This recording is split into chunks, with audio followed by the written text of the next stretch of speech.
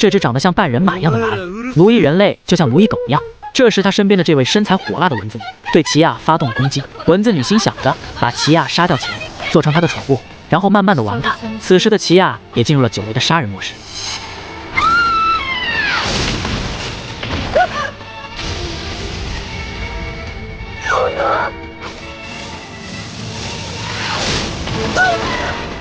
只是一个照面，蚊子女直接被废了两只手，但是她依然毫不在意，向奇亚再次冲了过去。她口中伸出的巨大武器，原来只是一个障眼法，真正的杀招是她屁股后面的那根长长的尾刺。其实随便被她上面还是下面攻击，都是会中剧毒的。奇亚这时也直挺挺的倒了下去，而蚊子女也对她的毒有很大的信心。此时她竟然直接看向了蜈蚣男和小杰的战场，但在这时她感到天地好像颠倒了一样。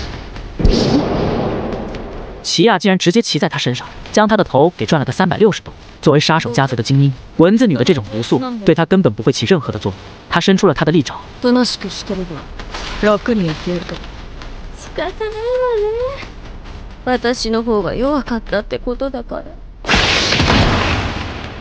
蚊子女这时终于知道他俩的差距，直接认命。这时面对更加强大的半人马，凯特对他提了几个问题。不过半人马根本没有下面回答，反而嘴里说着要把凯特做成下一个人宠。说罢便直接冲了上去。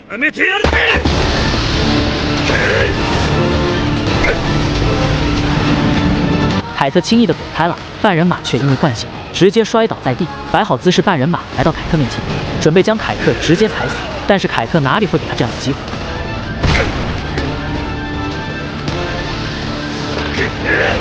反而顺着半人马攻势，借力直接站到了他的马背之上。半人马愤怒地将凯特逼至马下。这时凯特发动了他的技能，一个小丑飞在他的肩膀处，数字跳动到四。当半人马第三次向他发动攻击时，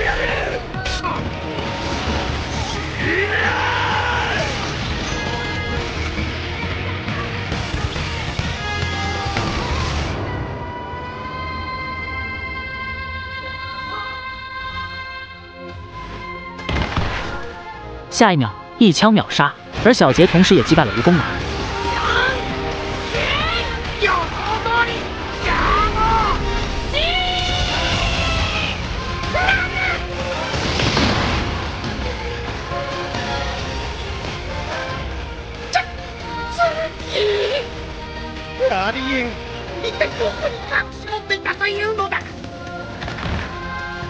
但没有什么战斗经验的小杰。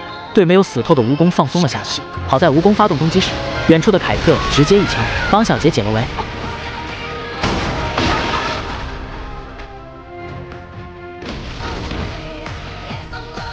同时也提醒小杰，这些嵌合以生命力顽强，以后对战时一定要将他们的头打爆。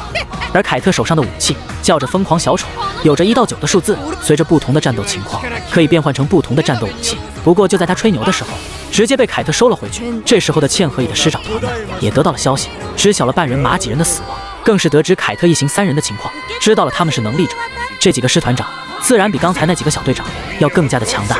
此时凯特他们离巢穴也越来越近，但是另一边，之前那个被他们打败的兔子身上此时此刻正散发着强大的能力，他竟然在失败后获得了人类一样的念能力。